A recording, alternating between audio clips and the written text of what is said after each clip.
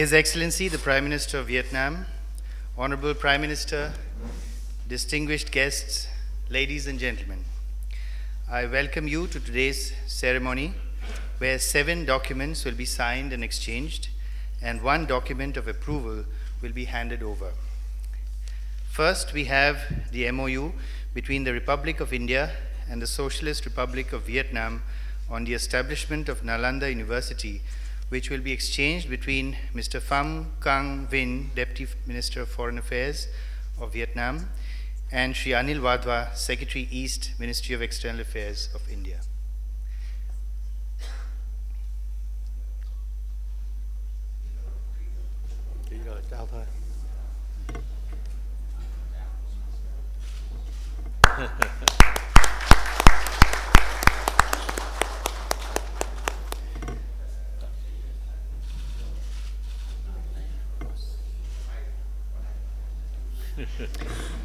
Next is the MOU between the Republic of India and the Socialist Republic of Vietnam for establishing the Center for English Language and Information Technology Training at the Telecommunications University, Ministry of Defense, Vietnam.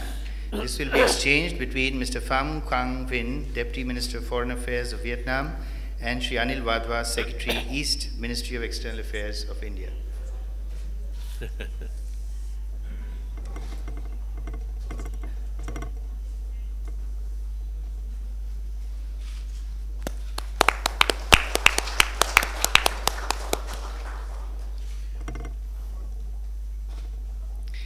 Next, we have the MOU between the Republic of India and the Socialist Republic of Vietnam for the conservation and restoration of the World Heritage Site of Mison, Quang Nam Province, Vietnam.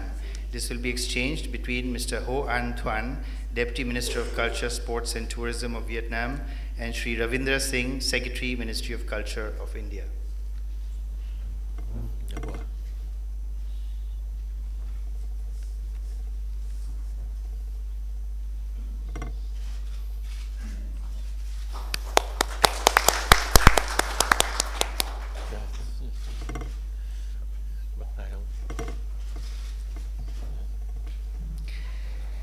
Next, we have the Cultural Exchange Program for 2015 to 17 between the Ministry of Culture, Republic of India, and the Ministry of Culture, Sports and Tourism of the Socialist Republic of Vietnam. This will be exchanged between Mr. Ho An Thuan, De- Deputy Minister of Culture, Sports and Tourism of Vietnam, and Sri Ravindra Singh, Secretary, Ministry of Culture of India.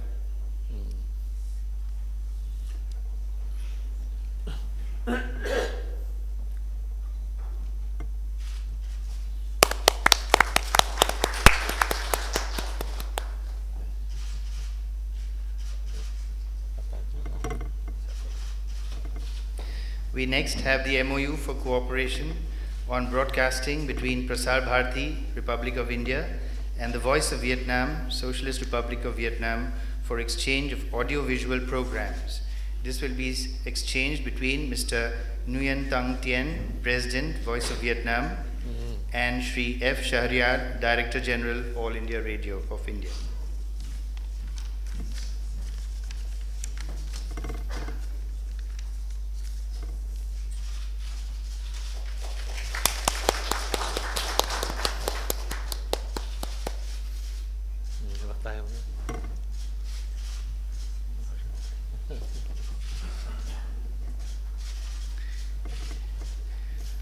We next have the exchange of heads of agreement between ONGC Videsh Limited and Petro Vietnam. This will be exchanged between Mr. To Van Khan, Director, Petro Vietnam Exploration Production Corporation, and Sri N.K. Verma, Managing Director, ONGC, ONGC Videsh Limited.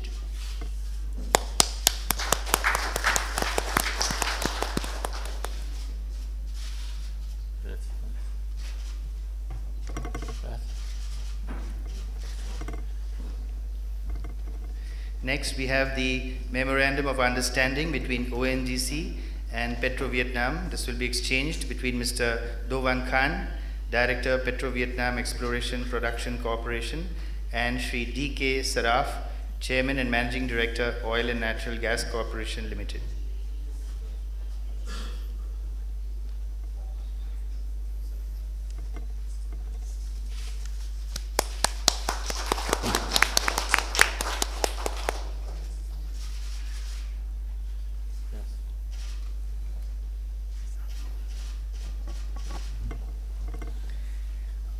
Finally, we have the handing over license by the State Bank of Vietnam to Bank of India for opening a full-fledged branch of Bank of India in Vietnam.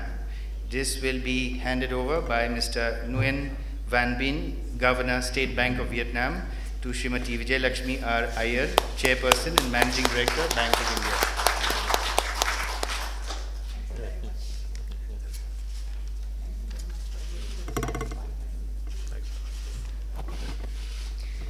This concludes this ceremony. distinguished prime ministers, members of the delegation, and friends from the media. We will now have media statements. I request the Prime Minister of India to make his media statement. Your Excellency,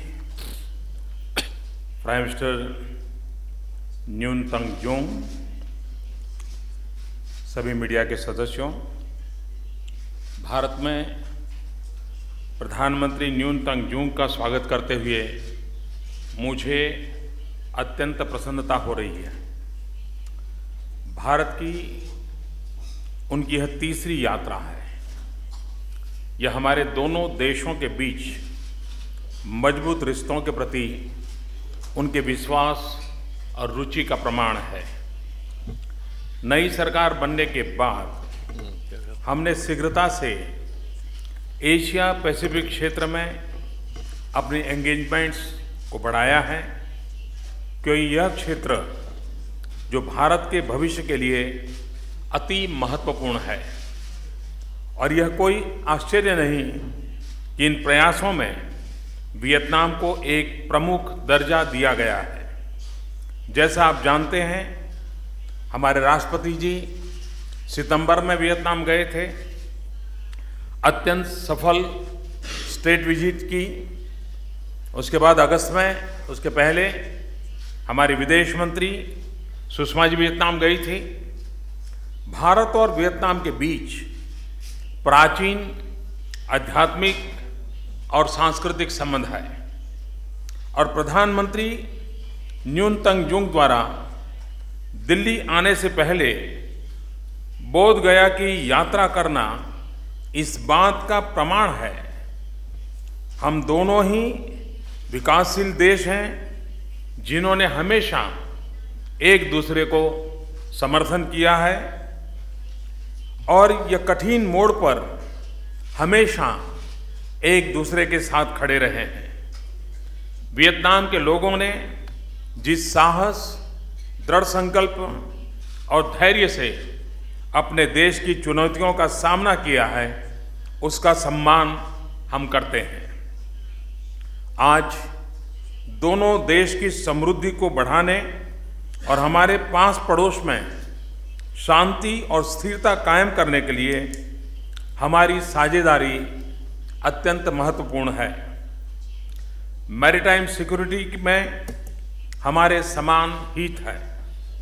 हम दोनों यह विश्वास करते हैं कि सामुद्रिक व्यापार और परिवहन में कोई बाधा नहीं होनी चाहिए और हर विवाद शांतिपूर्ण तरीके से अंतर्राष्ट्रीय कानूनों के आधार पर सुलझाने चाहिए। आज की वार्ता के दौरान हमारे क्षेत्र की स्थिति और हमारे रिश्तों को कैसे प्रगाढ़ बनाया जाए, इन सब के संबंध में प्रधानमंत्री न्यूनतम जूंग और मेरे विचारों में बहुत सी समानता है। रक्षा क्षेत्र में वियतनाम के साथ सहयोग हमारे लिए महत्वपूर्ण है। वियतनाम की सेना और सुरक्षा बलों को आधुनिक बनाने के लिए भारत प्रतिबद्ध है।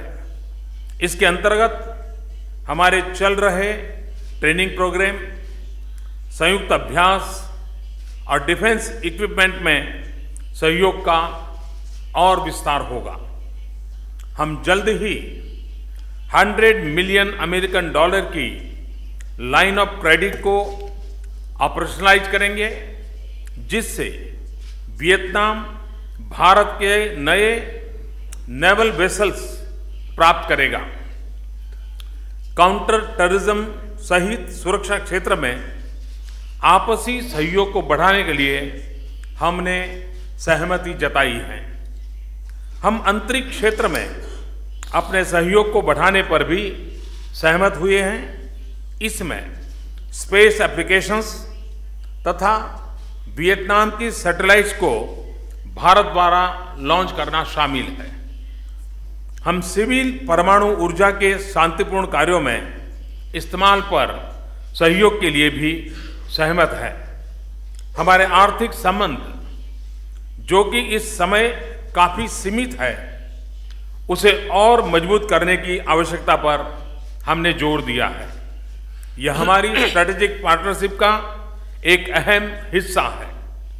आपसी व्यापार और वियतनाम में energy infrastructure textiles chemical machinery, agro processing और इंफॉर्मेशन टेक्नोलॉजी क्षेत्रों में भारत की भागीदारी को बढ़ाने के लिए हमने बातचीत की है।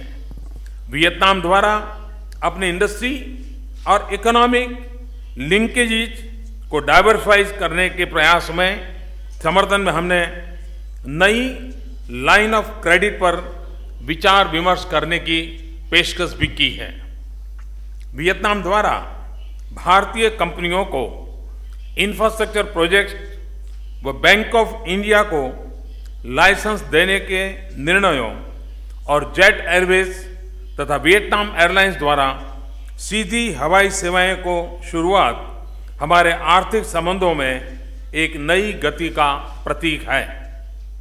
मैंने वियतनाम द्वारा तेल और गैस के क्षेत्र में भारत के साथ सहयोग बढ़ाने के लिए दिखाई प्रतिबद्धता और नए एक्सप्लोरेशन ब्लॉक्स के प्रस्ताव के लिए प्रधानमंत्री को धन्यवाद दिया है। इस क्षेत्र में और इससे जुड़े उद्योगों में हम निश्चित रूप से आगे बढ़ेंगे। सांस्कृतिक, शैक्षिक और लोगों के बीच आपसी संपर्क हमारे संबंधों के महत्वपूर्ण स्तंभ है। दोनों देशों के बीच आपसी संपर्क और पर्यटन को बढ़ाने के लिए कई कदम उठाए जा रहे हैं। जैसे आज किए समझौते में मी सौ में प्राचीन चाम मंदिरों का संरक्षण और पुनर्निर्माण, नालंदा विश्वविद्यालय में वियतनाम की भागीदारी और ऑडियो विजुअल क्षेत्र में आपसी सहयोग। मैंने वियतनाम द्वारा संयुक्त राष्ट्र संघ के 21 जून को अंतर्राष्ट्रीय योग दिवस घोषित किए जाने के भारत के प्रस्ताव को स्को स्पॉन्सर करने के लिए प्रधानमंत्री जुंग को धन्यवाद दिया है। संयुक्त राष्ट्र सुरक्षा परिषद की स्थायी सदस्यता के लिए भारत की उम्मीदवारी हेतु वियतनाम ने जो निरंतर समर्थन किया है, उसके लिए मैंने प्रधानमंत्री जूंग को धन्यवाद दिया है।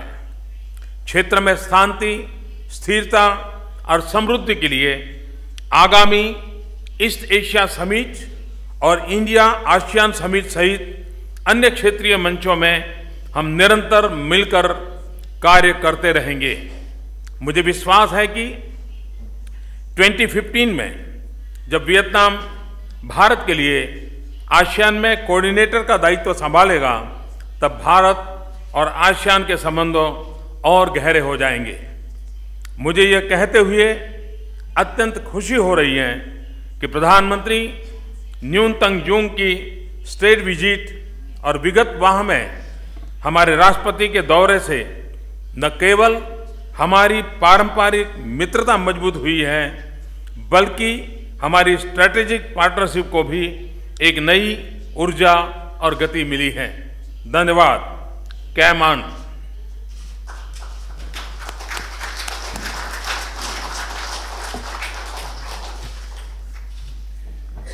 Thưa Ngài Thủ tướng Narendra Modi, thưa quý vị và các bạn thân mến, tôi rất là hoan nghênh và cảm ơn bài phát biểu của Ngài Thủ tướng Ấn Độ. Thưa quý vị và các bạn, tôi và Ngài Thủ tướng Narendra Modi vừa có cuộc hội đàm chân thành cởi mở và đạt được nhiều kết quả rất quan trọng, rất tốt đẹp. Chúng tôi đã thảo luận về các biện pháp nhằm tăng cường hơn nữa mối quan hệ hữu nghị truyền thống và đối tác chiến lược giữa hai nước. Đồng thời trao đổi các vấn đề về khu vực và quốc tế mà hai bên cùng quan tâm. hai bên đều khẳng định chính sách nhất quán của mỗi nước luôn coi trọng việc giữ gìn và phát triển mối quan hệ hữu nghị truyền thống và hợp tác, đối tác chiến lược giữa hai nước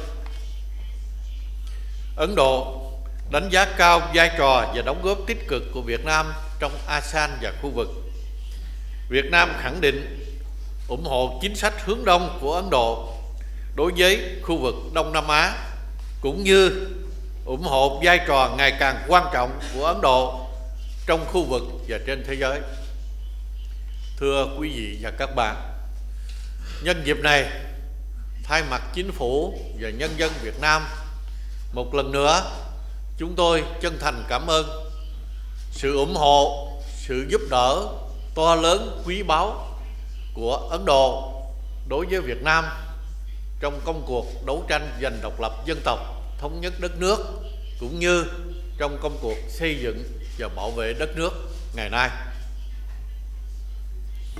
Thưa quý vị, hai bên, chúng tôi nhất trí sẽ làm sâu sắc hơn quan hệ đối tác chiến lược và tăng cường hợp tác trên tất cả các lĩnh vực.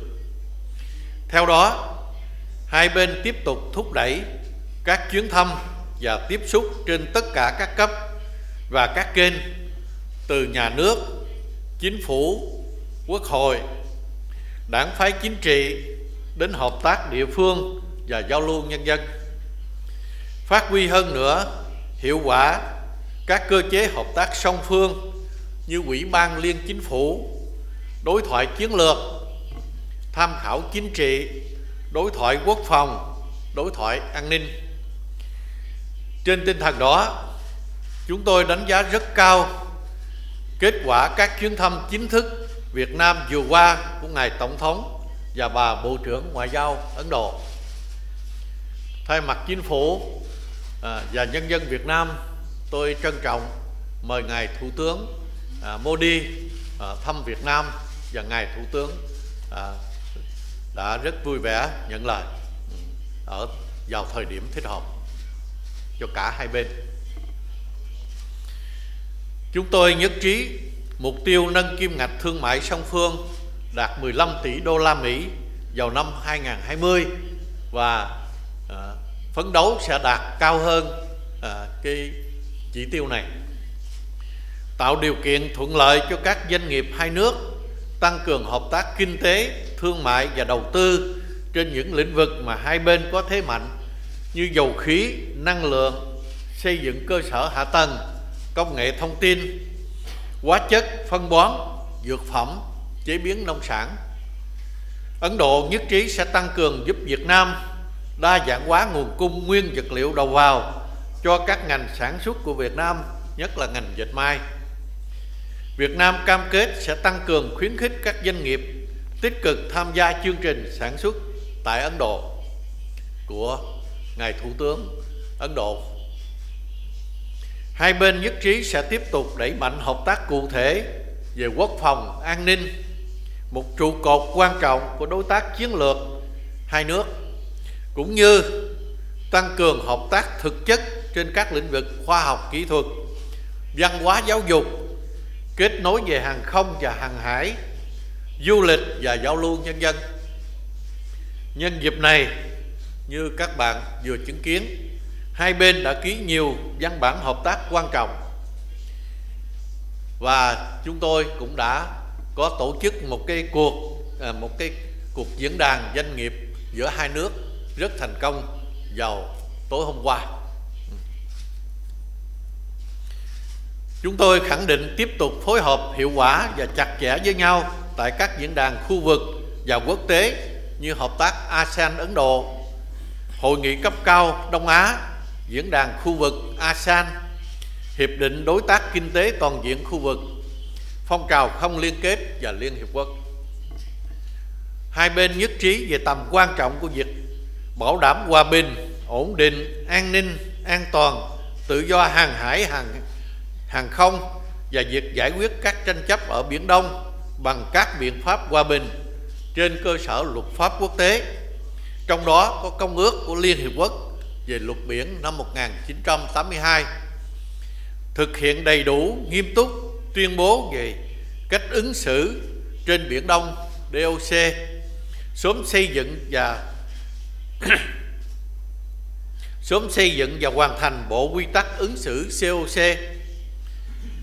Việt Nam trân trọng đánh giá cao lập trường của Ấn Độ về vấn đề Biển Đông và về việc Ấn Độ tiếp tục hợp tác với Việt Nam thăm dò khai thác dầu khí tại vùng đặc quyền kinh tế và thềm lục địa của Việt Nam ở Biển Đông. Thưa quý vị và các bạn, tôi tin rằng quan hệ đối tác chiến lược Việt Nam Ấn Độ sẽ phát triển ngày càng sâu rộng, thực chất, đáp ứng đáp ứng lợi ích và nguyện vọng của nhân dân hai nước vì hòa bình, hợp tác, phát triển ở khu vực và trên thế giới. Xin trân trọng cảm ơn ngài Thủ tướng, cảm ơn các quý vị và các bạn.